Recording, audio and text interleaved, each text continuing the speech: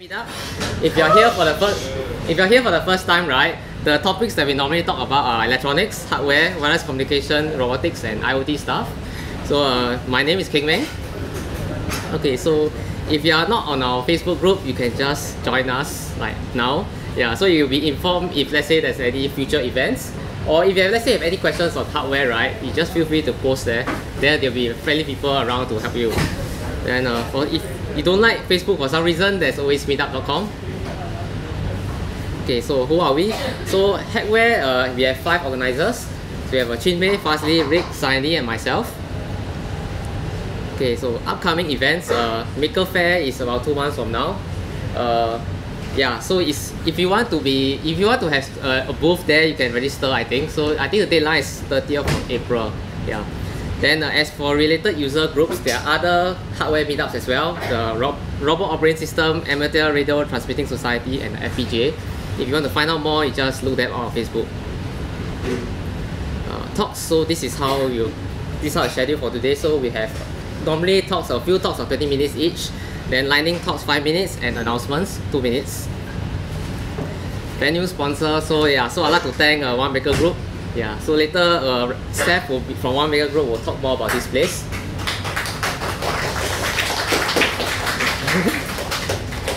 okay, so the what's are the what are talks for today? So the first talk will be by myself. I'll be speaking about Raspberry Pi 3 as well as some of the UART issues associated with this new board. The second speaker will be by, by Michael Sung. He'll be speaking about design approaches in making uh, mechanical toys. The third speaker is by William Hui. He'll be speaking about this new ESPresso Lite board, Wi-Fi compatible Arduino board. Oh, sorry, Arduino compatible Wi-Fi board. okay, okay. So the uh, the fourth speaker will, is will be Martin Leong. He'll be speaking about how to use classic Bluetooth in Arduino projects. And finally, we have uh, Michael Chung here. Yeah, so he'll be talking about engineers.sg. Okay, so now let's begin with my talk. Okay, so just want to have a quick poll here. How many of you have got your Raspberry Pi 3? Uh, how many of you have not received your Raspberry Pi 3? Okay, and so, okay, never mind. okay, so here I'll just run through briefly what are the new features of Raspberry Pi 3 compared to its predecessor. So the Raspberry Pi 3, the first is the CPU, is much more improved, faster 64-bit processor. But although this processor is 64-bit, right, there's no operating systems yet support this feature yet. So there's no 64-bit operating system, no 64-bit programs yet for Raspberry Pi 3, but you'll come in a matter of time.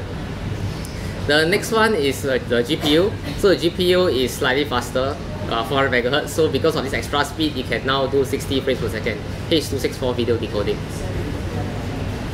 Then of course the two, I think the two key features here are the Wi-Fi and Bluetooth. So yeah, so now you don't need to have any dongles anymore whenever you want to connect to the internet. The Wi-Fi here is actually a very basic uh, single stream only, single uh, 2.4 GHz 80211N. Bluetooth is a dual mode Bluetooth adapter, can support both classic and BLE. So you can see the antenna is here. Okay, so in terms of the board positions, the LED position has actually changed.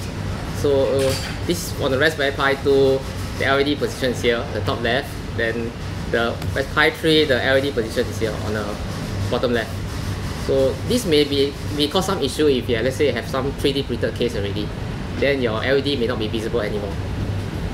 Uh, for the micro SD storage, micro anymore. Okay, so for the micro SD storage, right, the older Raspberry Pi 2 actually has a spring. So I'm not sure you all can see, right? So this is the Raspberry Pi 2. So when I press the micro SD card, right, you notice that it springs up. So for the Raspberry Pi 3, right, there's no longer a spring. Uh, the reason why right is because I think they realized that when you have a spring there right it's very easy to like for example I just tap a bit and it flies out. Micro SD card yeah so yeah I think that's why they improved this. Okay so now I'll come to the beef of my presentation which is the UART and debug console issues. So uh, of course I'm sure that not every one of you know what does this mean. So for UART debug console right okay this is the pinout for the Raspberry Pi 3 so for these two particular pins, right, they are called the serial pins. So they have they are called transmit and receive. So the UART stands for Universal Asynchronous Receiver Transmitter. So with a cable such as this, and you connect this cable to here, and you just start a terminal program on the computer, you can actually interact with the Raspberry Pi without needing SSH, without needing the keyboard and mouse. So uh, I'll just do a quick demo of what this is about. Okay. So here, uh, yeah, here's my Raspberry Pi 3.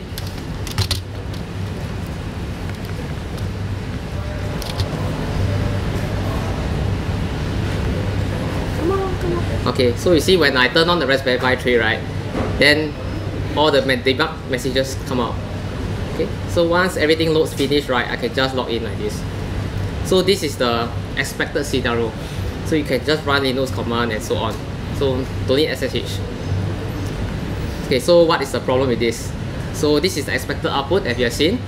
But for the Raspberry Pi 3, right, just out of the box, you plug, you put in a fresh disk image you can actually get garbled. So I'll show you here. So it's something like this. So I have another Raspberry Pi 3. This time it's loaded with a freshly a fresh SD card inside.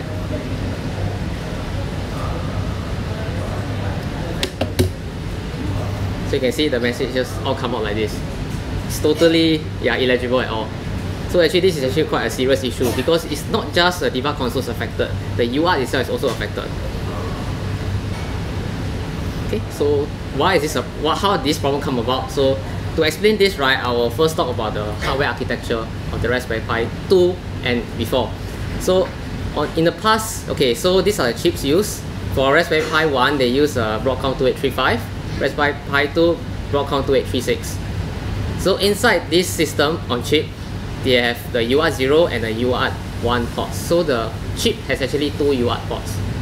The UART 0 is a full UART so here is okay you can't read MI okay so the basically the UART 0 is a full UART it has full features full serial port features and the name given is called TTY AMA 0 for UART 1 this is called a mini UART by Broadcom uh, it's called TTY S0 okay so in the earlier Raspberry Pis they connect the UART 0 directly to the header pins okay so no problem there and the default use is of a debug console which I showed you just now then the for the the other UART one is the BU mini UART. So the Broadcom has stated inside the data sheet that this is actually a low throughput UART. Okay, can't read them. I just explain that.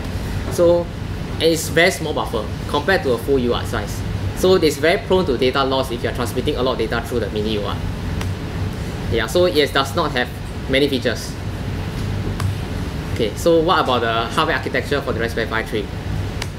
Okay, so now the Raspberry Pi 3 is using a different chipset. It's a newer BCM2837. Okay, and they have something extra, which is the wireless chip BCM43438. Okay, so the wireless chip is located here, just above the micro SD card slot. Okay, so for the Wi-Fi feature, it communicates with the system on chip via SDIO interface. I don't need to worry about that. Not important. Then the Bluetooth feature, right, actually communicates using the UART 0 interface. So they are now using the hardware UART for Bluetooth communication. Then the, the Raspberry Pi Foundation allocates the UART one, which is the mini UART, to the header pins instead. Okay, so why is UART one a problem? Okay, so we come back to the datasheet that Broadcom releases. Okay, okay, so the the text I highlighted here is baud rate derived from system clock. Very strange. Okay, so they happily provide you a formula of how to calculate the baud rate. So the formula is here. Okay, so the Raspberry Pi 3's boot time core frequency 400 megahertz. And the Raspberry Pi baud rate default is 115200. So we just put it here and then you can get this value out. So baud rate register calculated on core frequency retrieved on boot time. Okay, the problem is due to power saving measures, right? This frequency here 400 megahertz can drop to 250 megahertz. It's variable. It's, this is called frequency scaling to save power. And when you have a fluctuating core frequency, you will get a fluctuating baud rate because the frequency is directly proportional here. So yeah, so so what, what does all this mean? So who is affected?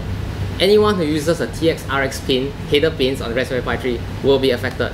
So to be specific, people who want to use the de serial debug console, like if you have a headless system, you don't wish to connect your Raspberry Pi to a screen, any Raspberry Pi shields that uses the UART, like RS232, RS232, GPS or GSM shields will have problems.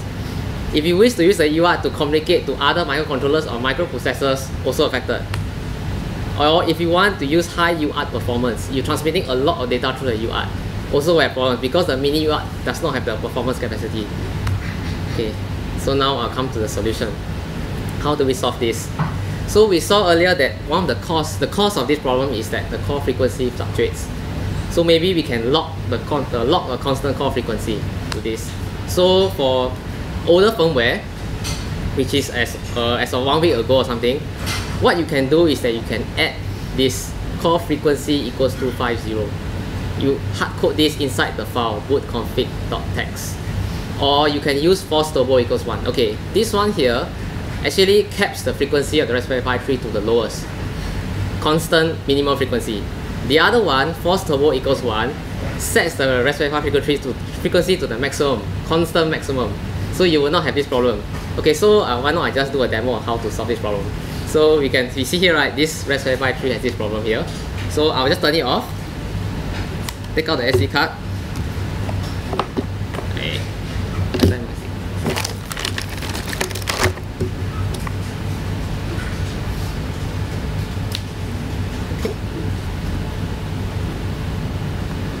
okay so here is the boot partition so I'll just modify the config.txt okay so I this okay by default it does not have that lah, but I just commented it out. Okay so then I'll save the file.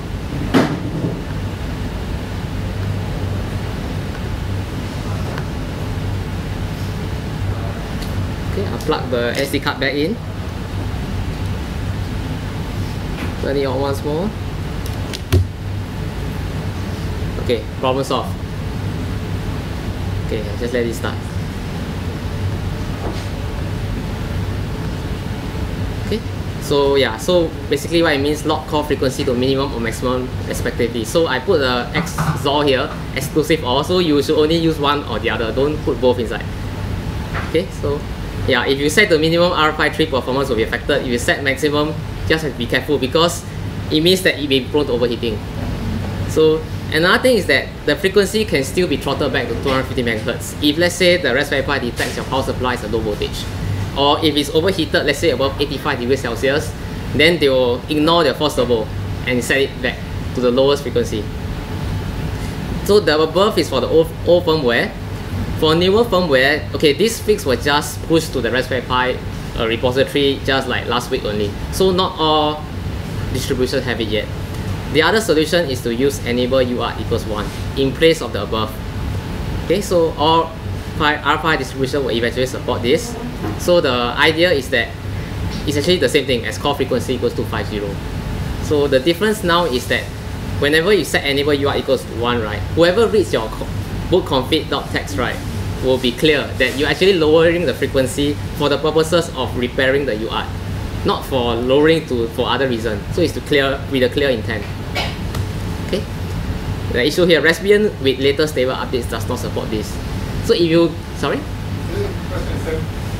What's roughly the ratio in power consumption Oh, I did not measure that. Yeah, I'm not really sure about that. Okay, uh, so coming back, uh, Raspbian's latest stable updates don't have it. So if you get the Raspbian image from the Raspberry Pi website, you do a full update, you still cannot use this feature. But you should use this feature going forward. Okay, there's an alternative. If you can install RPi update and you do this RPi update, right, you can get this. So what this command does is that you get the bleeding edge firmware update.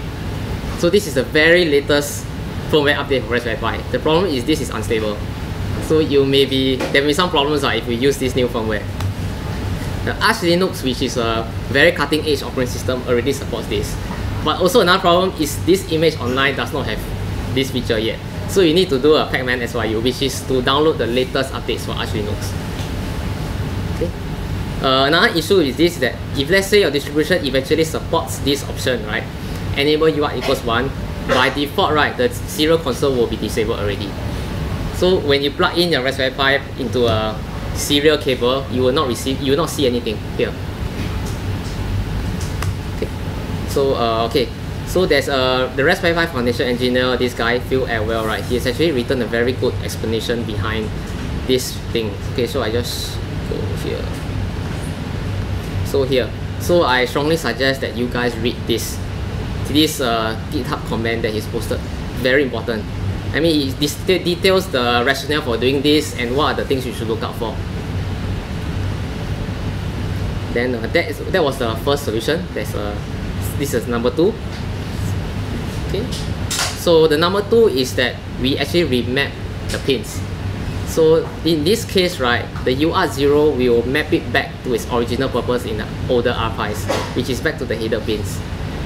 So this feature is called a pin crossbar. It's a it's a unique feature, so I didn't realize the Raspberry Pi actually have this thing also. So this is what you do. You add this inside the boot config.txt here. So when you do this, right, you're actually disabling Bluetooth because Bluetooth is now no longer connected to anything already. You will lose Bluetooth like that. Uh, extra step you do, you have to actually disable the Bluetooth service on Raspbian. This is because if you don't disable it, right, it will still continue to look for the Bluetooth chip and this may cause problems uh, if you cannot find it. Then uh, the other option is you remap and you connect the Bluetooth to the mini UART, UART 1 here. So you use this DT overlay Pi 3 mini UART BT. Okay. The thing is when you do this right, now Bluetooth will be affected by the problems of UART 1. Remember I said earlier right, because of the fluctuating frequencies, the mini UART has issues. So you now have to add this core frequency 250 or force turbo equals 1 into bootconfig.txt so the Bluetooth chip can communicate properly with the system on chip. Okay. And another thing is that you have to edit the system file also to tell the this Bluetooth service to talk to the Bluetooth chip using the other UART instead of the original UART 0. yeah, another one, uh, Bluetooth performance will be affected because the UART one's uh, serial performance is much worse compared to the UART0. So only low throughput Bluetooth Low Energy may be supported. You may not be able to transfer like audio over this anymore. Okay, yeah. If any of these options are used, the serial console will be enabled by default. It's a bit weird, uh, yeah. So they, they'll enable it automatically unless you set enable UART equals zero. okay, so quite a mouthful, right? So I actually summarized all this. Uh. So what to based on your requirements. So let's say you, you have you want serial console and normal Bluetooth, this is what you do. You lock the frequency, use this or this, not both. Either set to the minimum or set to the maximum. For the new firmware, which is in future, maybe a few weeks or months from now, right, it's better to use a new one. Enable UART equals 1. But enable UART equals 1 will cap your frequency to the lowest. So if you want a better performance Raspberry Pi, you need to set this again. You need to add force turbo equals 1 to bring up the frequency. Okay. Then uh, if you want high performance serial port, you have to switch the UART, UART 0 and UART 1 pins. Okay. For high performance serial, you have two options. If you don't want Bluetooth, set this, disable the Bluetooth service. If you want Bluetooth, you have to do this, set mini UART BT and either this or this. So the mini UART is usable. Additionally, you have to actually also change the UART service file to look for the Bluetooth at TTY S0. Okay, any questions? Okay. okay. If you want to disable UART, you have to add another option also. Okay, so the bottom line is if you want to use the mini UART, you have to lock the core frequency. This is a no way around this. So now I'll come on come to the Arch Linux Bluetooth issues. So for Raspbian, right, they use the they have a Pi Bluetooth package to provide all these features. So despite Arch Linux being cutting edge, right, Arch Linux does not support Bluetooth. They only support Wi-Fi. So because Pi Bluetooth has not been ported. Okay, so then if someone someone has posted a temporary package, so they actually reverse engineer this package here, and then they posted to the Arch Linux user repository. So you can just install. Yeah, so the thing is the installation instruction is not so easy also. So I've actually also written another case uh, on how to use this package. Yeah, so you can just find here. Okay, so yeah, so useful links, everything here. Yeah, so that's all. Okay, any questions? Questions? Anyone? Yes, I'll post up on Facebook on the Facebook at meetup.com. So are there any plans uh,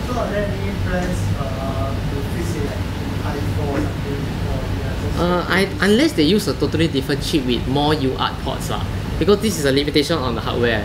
Yeah. The chances of that happening is very slim because Raspberry Pi is in love with Broadcom. You know, Eben Upton used to work for Broadcom, right? Yeah. Any more questions? I think now actually Yeah. He has official. Any more? Before I move on to the next speaker. Okay, uh, Michael, start. Okay, so the next speaker.